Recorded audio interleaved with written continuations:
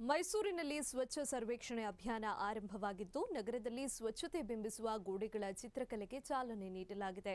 ಯರಗನಹಳ್ಳಿಯ ಬಳಿ ಗೋಡೆ ಚಿತ್ರಕಲೆಗೆ ಉಪಮೇಯರ್ ಶ್ರೀಧರ್ ಚಾಲನೆ ನೀಡಿದ್ದು, ಕಸ ಬೀಳುವ ಜಾಗದಲ್ಲಿ ಗೋಡೆ ಚಿತ್ರಕಲೆ ಕಾರ್ಯಕ್ರಮ ನಡೆಯಲಿದೆ.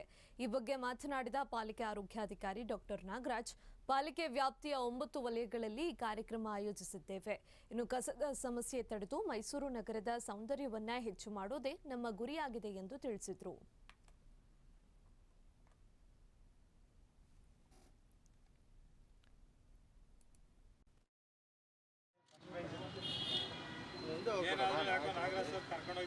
ಸರ್, ಈಗಾಗಲೇ ನಿಮ್ಗೆ ಗೊತ್ತಿರೋ ಹಂಗೆ ಕಳೆದ ಒಂದು ವಾರದಿಂದ ಮೈಸೂರು ನಗರದ ಸ್ವಚ್ಛತೆ ಬಗ್ಗೆ ಸ್ವಚ್ಛ ಭಾರತ್ ಅಭಿಯಾನದಲ್ಲಿ ಆಲ್ರೆಡಿ ಎರಡು ಮೂರು ಮೀಟಿಂಗ್ ಕೂಡ ಮಾಡಿದ್ದೀವಿ.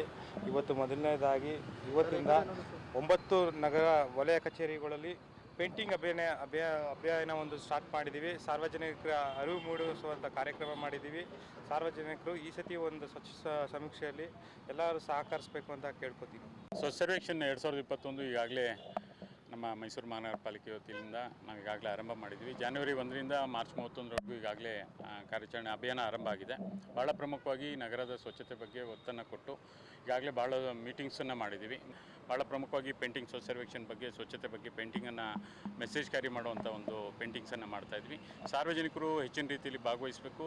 ಮತ್ತು ಪ್ರಮುಖವಾಗಿ ಇದೊಂದು ಪೇಂಟಿಂಗ್ ಕಾಂಪಿಟೇಷನ್ ಯಾರಾದರೂ ಬಂದು ವಾಲಂಟಿಯರಾಗಿ ರಿಜಿಸ್ಟರ್ ಮಾಡಿಕೊಂಡು ನಮ್ಮ ನಗರದ ಬೇರೆ ಬೇರೆ ವಲಯ ಕಚೇರಿಗಳಲ್ಲಿ ಎಲ್ಲಿ ಬ್ಯೂಟಿಫಿಕೇಶನ್ ಸ್ಪಾಟ್ಸ್ ಇದೆ ನಾವು ಗುರುತು ಮಾಡ್ಕೊಂಡಿದ್ವಿ. ಅಲ್ಲಿ ಬಂದು ಅವ್ರು ಪೇಂಟಿಂಗ್ ಮಾಡೋ ಮುಖಾಂತರ ನಮ್ಮ ಜೊತೆ ಸಹಕರಿಸ್ಬೇಕಂತ ಕೇಳ್ಕೊಳ್ತಾ ಇವತ್ತು ಸ್ವಚ್ಛ ಭಾರತ್ ಶುರುವಾಗಿ ಜನವರಿ ಒಂದನೇ ತಾರೀಕಿಂದ ಶುರು ಆಗಿದೆ ಜನಗಳು ಸಹಕರಿಸ್ತಾ ಇದ್ದಾರೆ. ನಾವು ಈ ಮೂಲಕ ಅವ್ರನ್ನೇನು ಕೇಳ್ಕೊಳ್ಳೋದು ಅಂತ ಅಂದರೆ ಕಸನ ರೋಡಲ್ಲಿ ಹಾಕಬೇಡಿ. ದಯವಿಟ್ಟು ಕಸನ ಡಸ್ಟ್ಬಿನ್ನಲ್ಲಿಟ್ಟು ನಮಗೆ ಕೊಡೋಂಥ ಕೆಲಸನ ಮಾಡಿ. ಈ ಮೂಲಕ ನಾವು ಅದನ್ನು ಕೇಳ್ತಾ ಇದ್ದೀವಿ. ಸ್ವಚ್ಛ ಭಾರತ್ಗೆ ನಮಗೆ ನಮಗೆ ಫಸ್ಟ್ ಬರಬೇಕು ಅನ್ನೋದು ನಮ್ಮ ಆಸೆ ಇಟ್ಕೊಂಡು ನಮ್ಮದೊಂದೇ ಆಗಿರಬಾರ್ದು. ಪಬ್ಲಿಕ್ ನಮಗೆ ಸಹಕರಿಸಿದ್ರೆ ಈ ಕೆಲಸದಲ್ಲಿ ನಾವು ಮುನ್ನಡೆ ಬಂದೇ ಬರ್ತೀವಿ. ದಯವಿಟ್ಟು ಎಲ್ಲರೂ ಸಹಕರಿಸಿ.